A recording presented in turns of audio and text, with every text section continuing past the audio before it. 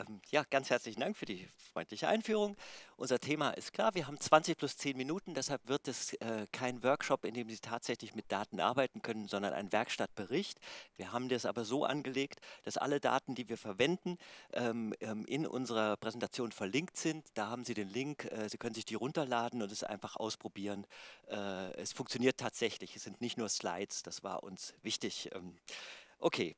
Äh, also ich werde etwas sagen, wir werden etwas sagen zu den Repositorien, was Merchant eigentlich in unserem Fall bedeutet, wie wir analysieren, visualisieren. Unser äh, Real Thing ist eigentlich, was man damit noch machen kann. Also wir stellen Ihnen jetzt wirklich nur einen ganz kleinen Ausschnitt unserer Arbeit vor, aber ähm, äh, was eben geht in der kurzen Zeit.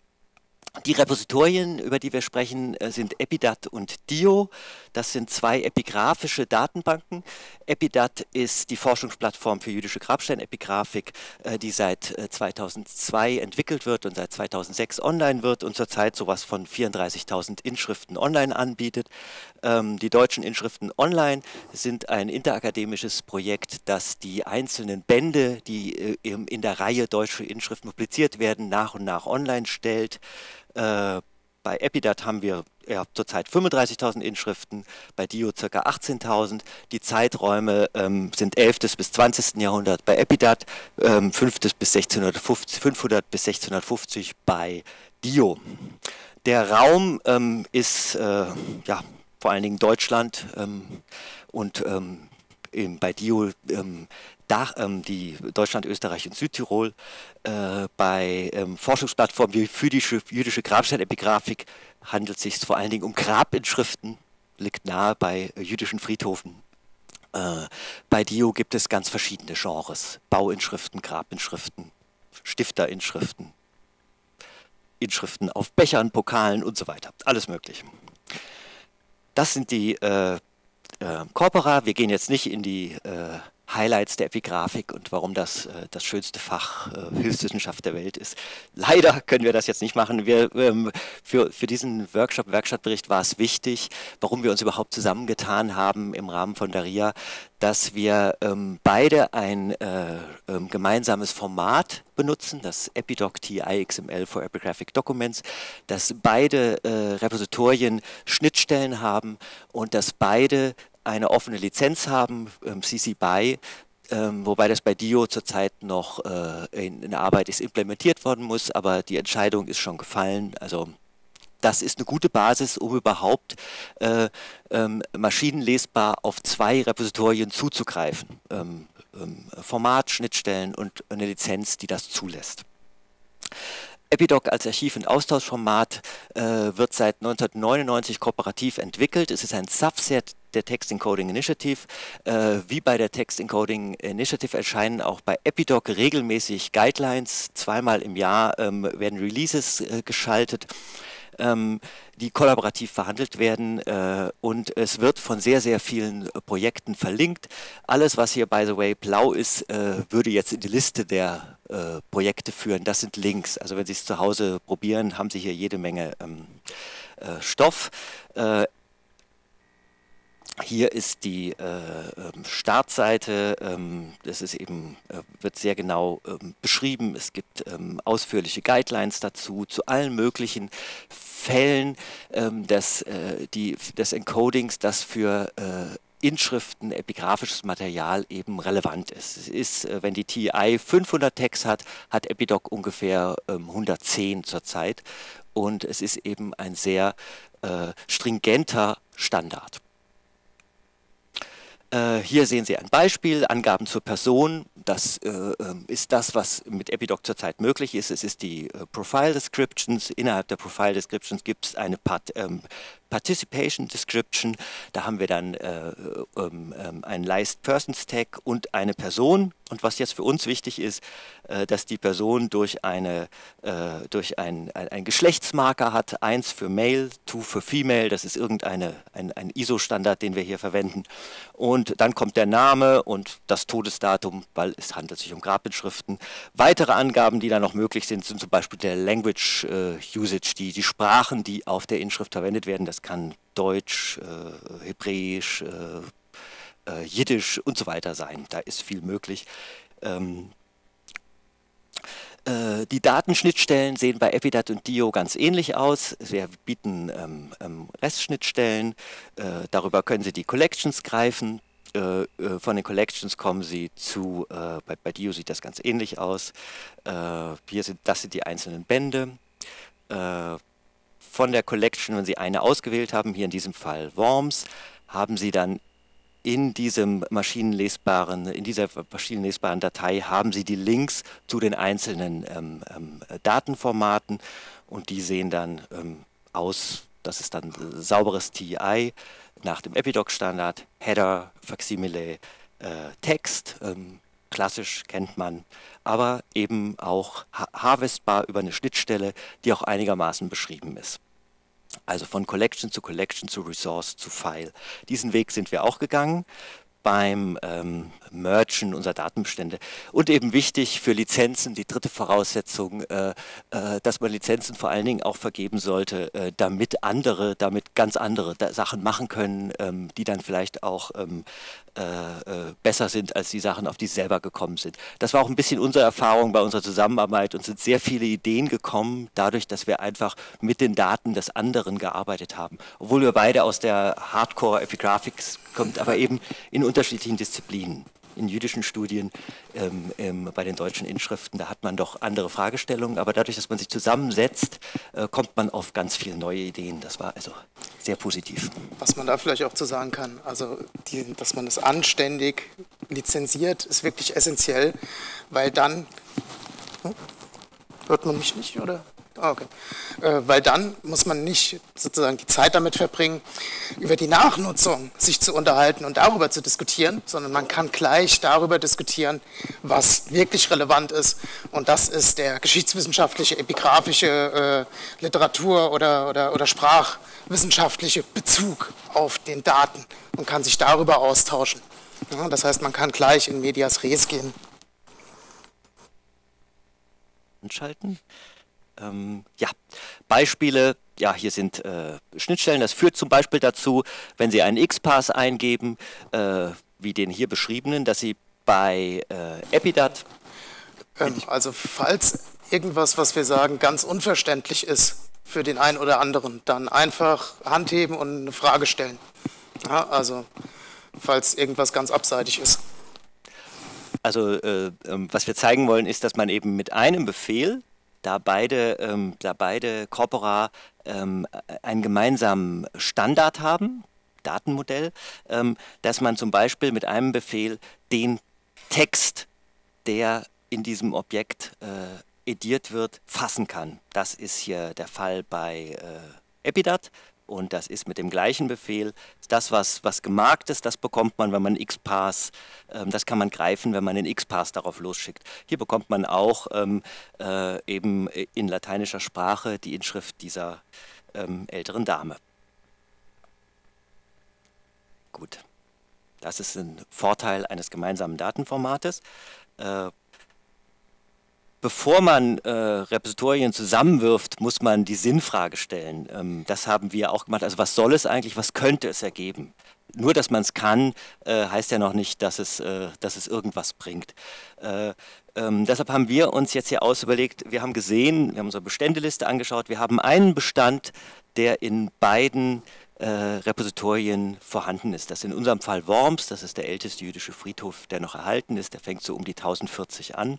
Und in Dio ist, sind es die Inschriften der Stadt Worms. Äh, der gemeinsame Zeitraum ist äh, ähm, ungefähr bis 1500 und es wäre sinnvoll, sich vermutlich auf Grabmale zu beschränken, weil das etwas ist, was in beiden Beständen vorkommt. Also das wären mögliche Filter, die man beim Zusammenwerfen, beim Arbeiten anwenden könnte. Also das haben wir uns zuerst überlegt, also ganz geisteswissenschaftlich. Und da muss man sich überlegen, Äpfel und Birnen, was vergleiche ich hier eigentlich? Am Anfang sollten also sinnvolle, repositionenübergreifende Forschungsfragen stehen. Und was uns eingefallen ist, was, sie, was man auch ohne Kenntnisse des Latein oder des Hebräischen, des mittelalterlichen Hebräisch vielleicht versteht, ist die Frage nach der Genderdistribution. Inschriften ähm, sind, sind äh, sehr oft, in Inschriften sind sehr oft Aussagen über Personen enthalten.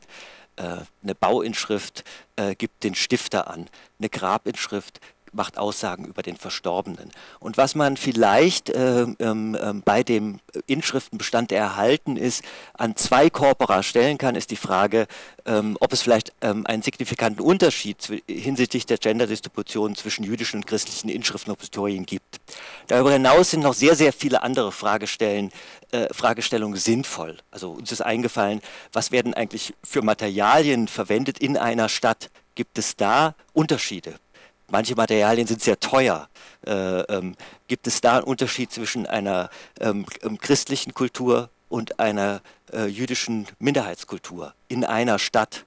Ähm, der Frage sind wir nicht, also wir haben das angelegt, man kann sie auch ähm, versuchsweise beantworten, aber die werden wir jetzt nicht weiter ausführen, aber unsere Daten würden Ihnen das ermöglichen, da eine Antwort zu finden. Hier nochmal kurz äh, reinzugehen. Also in Epidoc ist es auch möglich, dass man sowas wie Wanderungen von Gegenständen sozusagen äh, anbringt und annotiert. Das heißt, also ist es häufig der Fall, dass zum Beispiel Grab, äh, Grabplatten nicht über tausend Jahre an einem Ort bleiben, sondern dass die umgesetzt werden, sozusagen, wenn irgendwas neu gebaut wird, wenn man was renovieren will oder aus unterschiedlichsten Gründen, dass die ihren Ort in einer Kirche oder an dem größeren äh, Zusammenhang, in dem sie sich befinden, sozusagen wechseln. Wenn das adäquat annotiert ist, kann es über so ein X-Path abgefragt werden und dann kann man sich zum Beispiel anschauen, welche Inschriften, also welches Material wandert beispielsweise am häufigsten oder welches Material wandert überhaupt nicht, welche Inschriften werden vielleicht sozusagen an andere Orte verbracht, Na, haben die bestimmte Kontexte, bestimmte Genderdistribution etc. pp. Genau. Das sind alles so Fragestellungen, die man haben sollte, bevor man anfängt, sozusagen groß herumzumodellieren.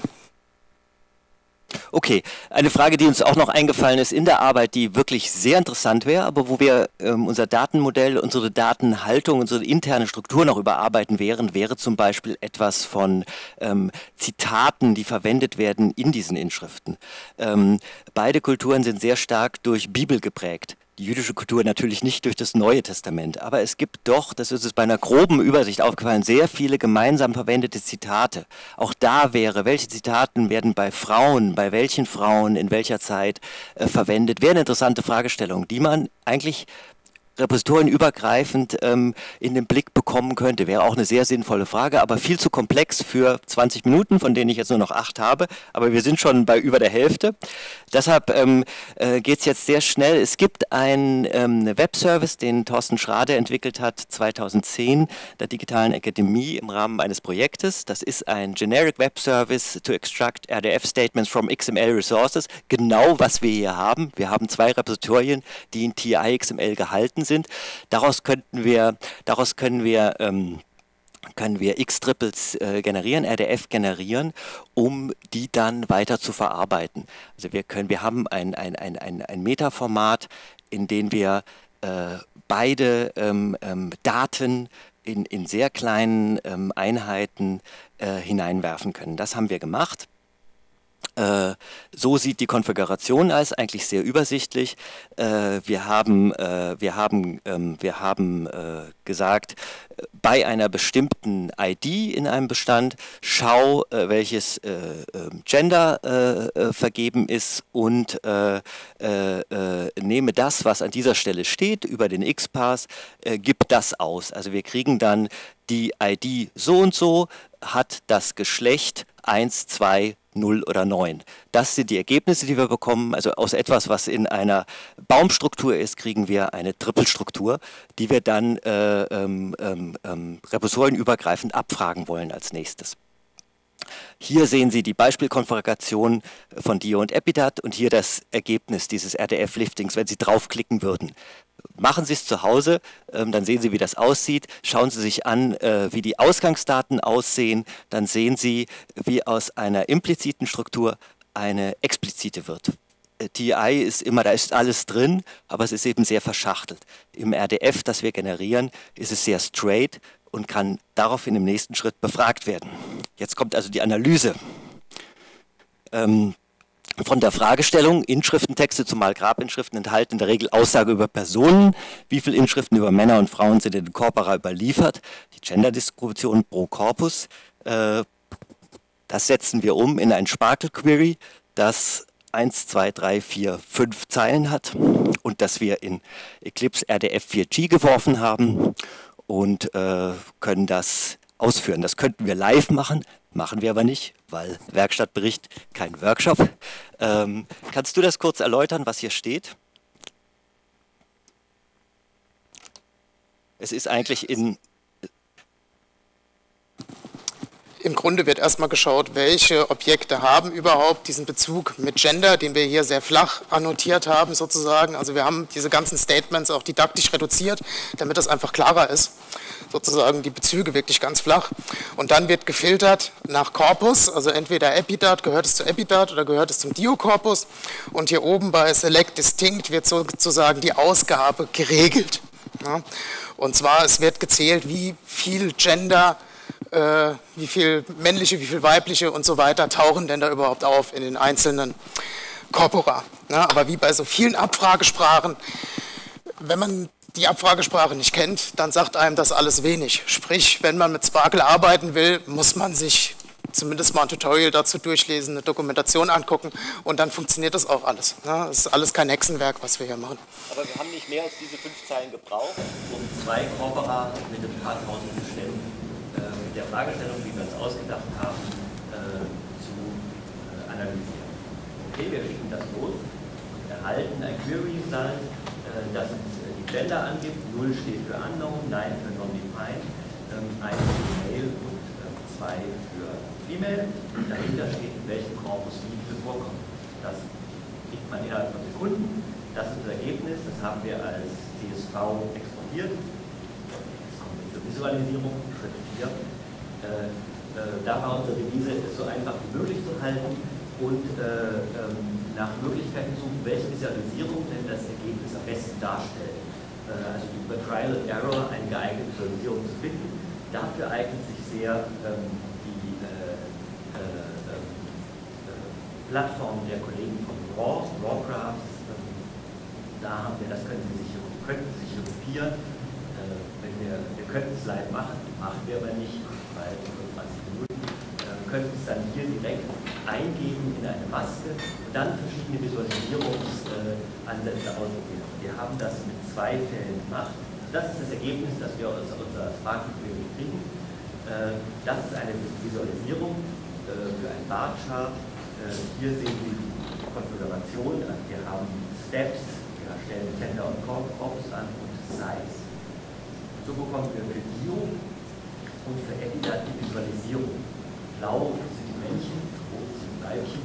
Ähm, wir sehen sofort äh, verhältnismäßig ähm, äh, weniger Frauen im äh, Bio, im Epidat nahezu äh, gleichrangig, äh, keine unknown ähm, äh, in Epidat, was daran liegt, dass Epidat wirklich nur Grabenschriften hat und äh, dass ja auch Bauinschriften sein können, die keinen Personenbezug haben und so weiter.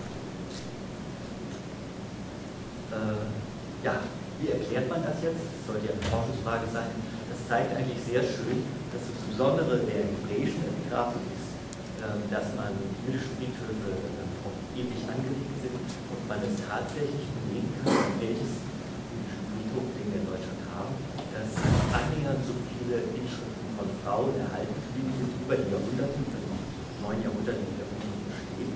Ähm, und dass das in, in, bei den Deutschen sich anders verhält, vermutlich weil die Inschriften, äh, die Leute, die auf Inschriften genannt werden, Gelehrte sind, Pfarrer sind äh, und Frauen dort äh, eine geringere Rolle spielen, sogar als Ehefrauen.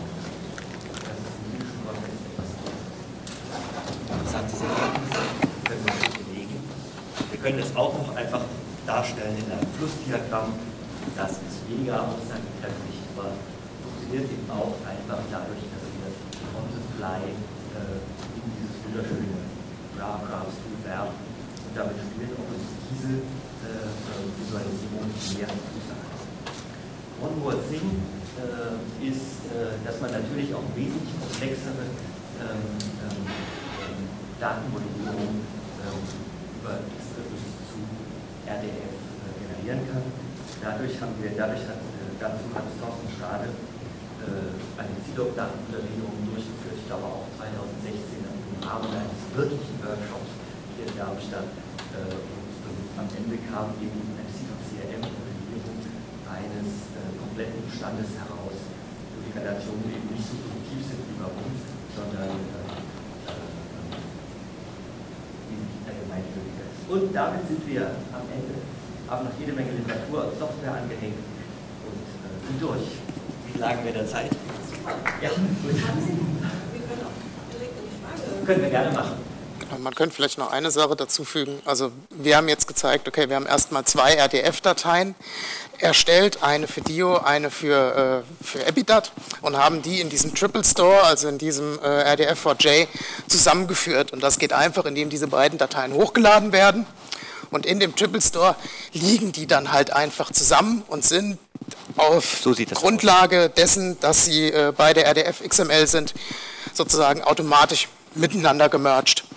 Man könnte, wenn man Bezüge hätte, zum Beispiel zu eigenen einzelnen Personen oder Gebäuden, über Normdaten, beispielsweise zu äh, Geonames oder zu ähm, Wikidata, könnte man sich auch die Wikidata oder Geonames RDF-Datenbestände holen, die zusätzlich in diesen Triple Store laden und hätte dann sozusagen diesen Graphen, den man da abfragen kann mit Sparkle, nochmal um ein Vielfaches sozusagen äh, erweitert und könnte dann nicht zum Beispiel nicht nur diese einfache, ein bisschen didaktisch reduzierte äh, Abfrage machen, die wir jetzt hier dargestellt haben, sondern könnte wirklich komplexe Zusammenhänge hier abfragen. Ja, und die Komplexität der Abfragen, die man durchführen kann bei dieser, äh, bei dieser Herangehensweise, die wird natürlich durch zwei Sachen beschränkt. Durch die Komplexität der Daten, die ich habe, also wie viel ist das, wie hoch ist der Grad der Verknüpfung da intern und wie hoch ist meine Kompetenz in der Abfragesprache, um diese komplexen Queries zu formulieren.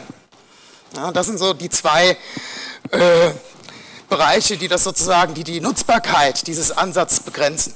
Und was die Visualisierung äh, angeht, ist der Dreh- und Angelpunkt das, dass äh, die, dieser Sparkle Query uns immer ein Datenformat rausgibt, das wir sehr einfach visualisieren können, beispielsweise mit JavaScript oder mit diesem äh, Rawcrafts-Ding. Ja, bei jede Menge Download-Formats, die angeboten werden, ja. Einmal CSV ausgeben kann, aber dann natürlich auch äh, Formate wie äh, JSON zum Beispiel. Ne? Und wenn man diese zwei Sachen hat, dann steht einem im Grunde, was die Visualisierung angeht, alles offen. Fragen. Wir haben Zeichen aus der Regie bekommen, dass wir, ähm, vielleicht hat jemand Fragen.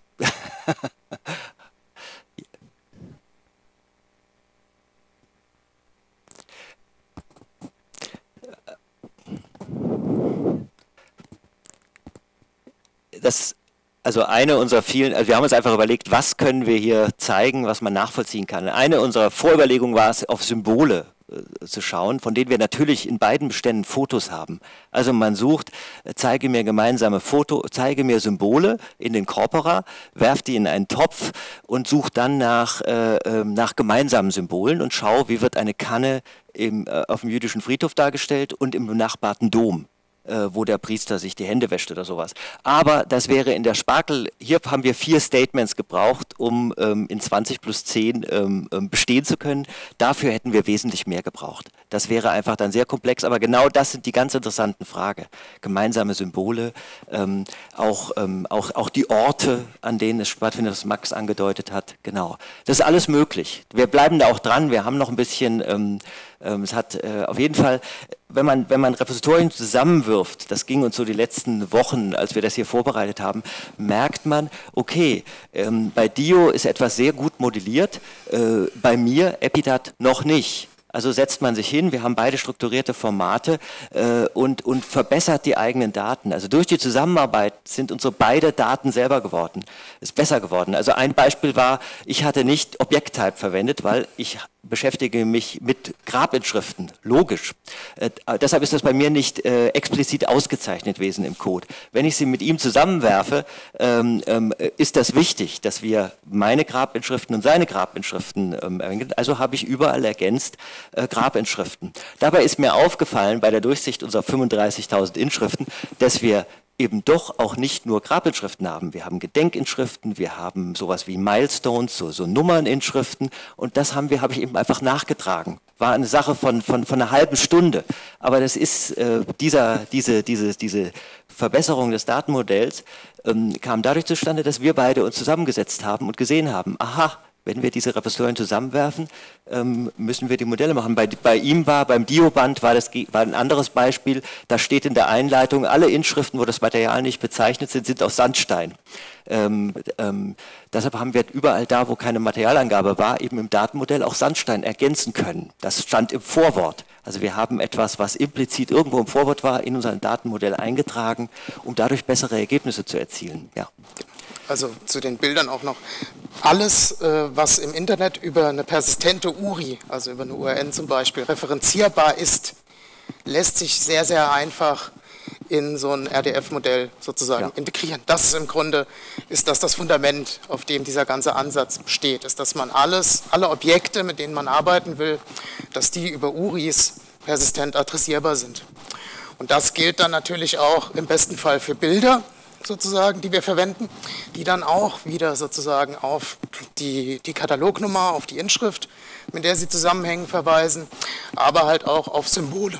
Und so weiter. Was man, wenn man sich die Konfigurationsdateien anschaut von, für Dio und Epidat, die ja sehr kurz sind, sieht man, ähm, dass bei gleichem Datenformat TI Epidoc XML wir zum Beispiel unsere IDs doch an unterschiedlichen Stellen geben. Das Datenmodell lässt das zu. Die TI ist da nicht so streng und wir sind vielleicht zu schlampig. Also, aber wir schaffen es eben durch diese kurzen Statements, das sehr schnell und eine gute Datenkenntnis, weil wir sind verantwortlich für diese Repositorien, ähm, das doch in der Metaebene vereinheitlichen zu können. Das war eben auch und dann nochmal nachzudenken, was mache ich eigentlich? Warum gebe ich an fünf ich? Warum gebe ich an fünf Stellen ähm, Identifier an? Ist das so furchtbar sinnvoll?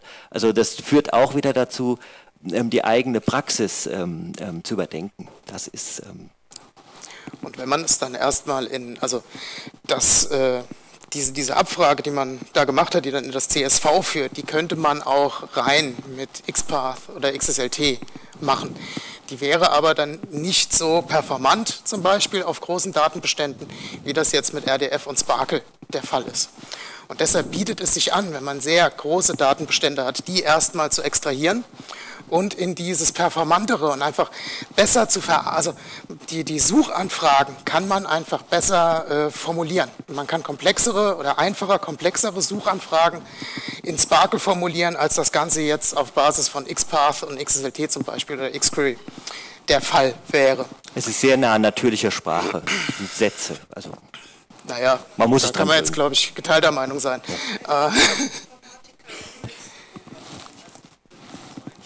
Was? Also das haben wir ähm, geschafft. Ja. Also was, ähm, was haben Sie gemeint? Ich habe die Frage gar nicht verstanden. Ob man dafür Informatiker braucht, um das aufzusetzen oder ob, das äh, Programm so ist, dass es auch als Historiker sozusagen machbar ist, sich da reinzuführen? Also der, der X-Triples Web Service, den wir verwendet haben, der ist sehr gut dokumentiert. Also Sie können sich das einfach mal, wenn Sie, wenn Sie ein, ein, ein XML-Format haben, ein strukturiertes Format haben, äh, schauen Sie sich das an, ähm, ähm, ähm, machen wie wir ein sehr einfaches Beispiel und probieren es einfach mal aus. Also die, die wir ja haben das, was wir hier gemacht haben, ähm, nachdem wir erst wirklich sehr komplexe Dinge versucht haben, haben wir gestern Nachmittag ähm, ähm, das einfach so schlank durchlaufen lassen, wie wir es jetzt hier darstellen. Also das, das, das geht. Jetzt sind wir, wir kennen ja. unsere Daten sehr gut. Wobei, und, wie, wie gesagt, ne, das war jetzt auch didaktisch reduziert, die Triple, die wir da gebildet haben. Wie man zum Beispiel, wenn man sich äh, den Vortrag anguckt von Thorsten Schrader, genau. auf den wir verwiesen haben, wenn man das in CDOC CRM modelliert, ist das um ein Vielfaches komplexer, die Zusammenhänge, die da dargestellt werden. Und auch das mit dem Gender, was wir gezeigt haben. Das haben wir jetzt einfach an den Grabstein gehängt sozusagen. Ein Grabstein hat natürlich kein Gender. Ja, das ist klar. Und im Grunde steht auch in der Ontologie drin, dass alles, was mit diesem äh, mit Gender sozusagen bedacht wird, dass daraus folgt, dass äh, dasjenige ein lebender Agent ist. Ja, und Grabsteine können das natürlich nicht sein. Deshalb, ne, also didaktische Reduktion. Wenn man es dann wirklich als Forschungsdaten publizieren will, dann wird das alles um einiges komplexer sein sozusagen. Und deshalb, um zu der Frage zurückzukommen, braucht man dann einen Informatiker oder vielleicht doch viel besser noch einen DHler, der das macht? Dann würde ich sagen, wenn man will, dass es gut gemacht wird und richtig gemacht wird, dann sollte man doch eine Diätstelle dafür schaffen in seinem Projekt, weil es einfach nur mit äh, sozusagen diese eine ADF-XML-Datei zu erstellen, damit ist es nicht getan. Man will ja auch darauf queryen, was wir jetzt mit Sparkle gemacht haben. Das heißt, ich muss auch erstmal diesen Triple Store hinstellen. Das muss sich jemand angucken. Dann muss jemand die, äh, die Sparkle-Queries schreiben, vielleicht auch im besten Fall mit den anderen Forschern, die daran arbeiten, die sich da auch ein bisschen dran weiterbilden können und so weiter. Deshalb also, lange Rede, kurzer Sinn, man kann das alleine machen, wenn man sich abends, nachts hinsetzt, um sich da erstmal einzuarbeiten.